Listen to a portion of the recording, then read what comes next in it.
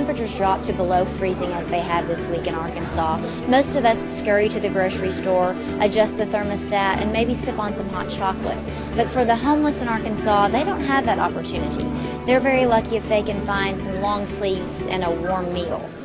But this time there is hope for those homeless facing hardships. Little Rock City leaders created an emergency warming center as soon as they heard of the dangerously low temperatures heading our way. This has been created because of the cold weather, but truthfully, what we have an opportunity now is to see how many actual street people there are in the downtown area. Now, the truth is, if you look around here, there are some of these folks that have come from the surrounding uh, areas of the city, but the bulk of these folks are staying in the downtown area. For people who may usually sleep on a hard, cold bench, the cots are a sweet escape. The Nathaniel Hill Complex on the east side of town is housing the shelter, opening their doors to anyone who has nowhere else to go.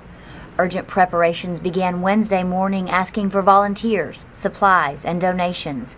The temporary facility will be open until Monday, but Mayor Mark Stodola says that time could be extended if the temperatures remain a threat. Jerry Anders is one man taking advantage of the shelter. I worry about everybody that's out there, including myself, worrying if we're going to be safe, if we're going to be warm. And it's just a real blessing that this was available.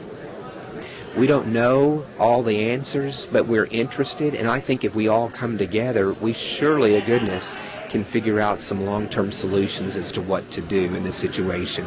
One of the issues is, is housing. What are we going to do to help find these people more permanent housing?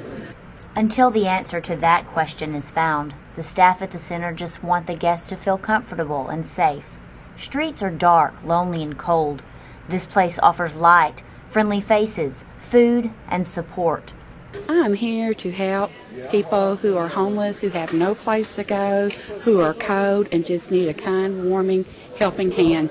Been there many years ago in the 70s myself. I've been homeless, so I know what it is to not have anything, not just clothing, material stuff, but people who care about you as well. So that's why I'm here. Unlike the cold temperatures, these people can't check their misfortunes at the door health the health issues. This gentleman behind us over here, who um, who's got a foot, who, who, probably very likely, if something doesn't change, he could lose his foot over here.